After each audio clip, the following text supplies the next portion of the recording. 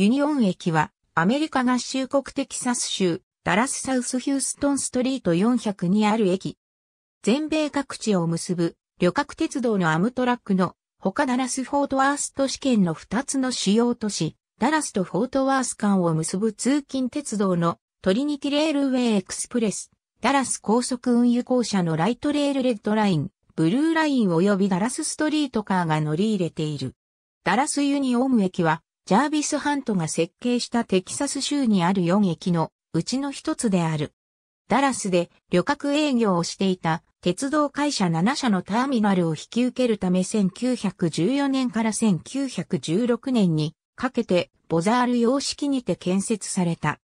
当駅は1916年10月14日に公式に開業し、1日あたり5万人の乗客と80本の列車を履けるよう設計された。1969年5月31日、ダラスユニオン駅に停車する民間鉄道会社の旅客列車が廃止され、ダラスはアメリカの主要都市の中で最初に旅客営業を失った都市となった。1971年にアムトラックが国内の主要な都市間旅客列車の営業を開始しても、ダラスには1974年3月まで営業を開始しなかった。ダラスユニオンターミナル会社は1974年3月13日に解散し、駅とヤードはダラス市に売却された。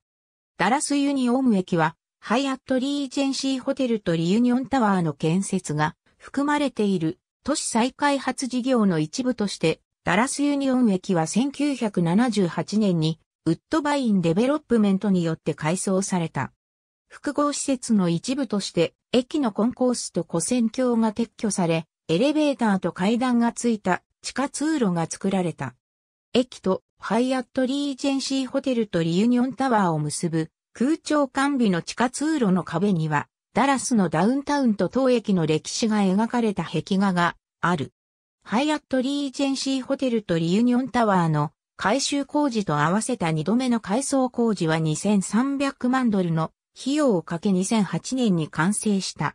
駅は今もターの最上階レストランを所有しているウルフギャングパックグループによるケータリングをフィーチャーし、ユニークなイベント会場を提供している。会場はフェリス広場を見下ろす約15メートルの天井とアーチ型の窓と盛大に飾られた空間を提供し、空調完備の地下通路によりハイアットリージェンシーホテルにつながっている。改装工事は白い塗料、タイル、オリジナルのフロアリングなどの外観や機能を損なう復元は意図していない。今日、ダラスユニオン駅は、ダラス高速運輸公社ライトレール、トリニティレールウェイエクスプレスや路線バスが集まる交通結節点として営業している。1996年6月14日、ライトレールの駅として開業した。アムトラックの停車する列車は、下記の通り、トリニティレールウェイエクスプレスの出発する列車は下記の通り。なお、日曜日は全便運休となるダラス高速運輸行車、ライトレールは下記の通り。ダラスストリートカーあたり駅から乗車できるバスは以下の通り。ありがとうございます。